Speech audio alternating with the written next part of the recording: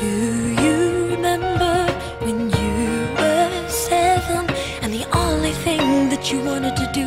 was show your mom that you could play the piano? Ten years have passed, and the one thing that will last is that same old song that we played alone and made my mother cry.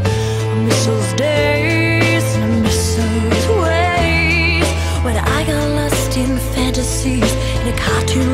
mysteries in a place you won't grow old